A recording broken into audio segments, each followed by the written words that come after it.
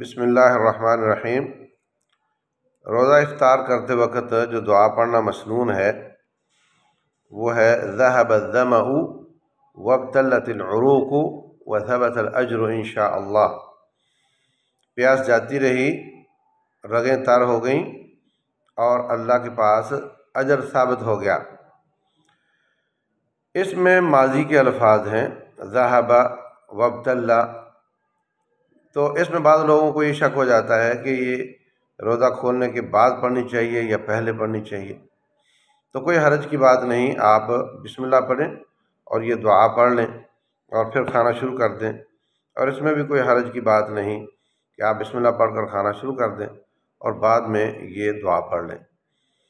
جو پہلے پڑھی جاتی تھی، جو اس کی صنعت تھوڑی کمزور ہے، اس میں بھی تو ماضی کے لفظ ہی تھے اور آپ پہلے پڑھتے تھے۔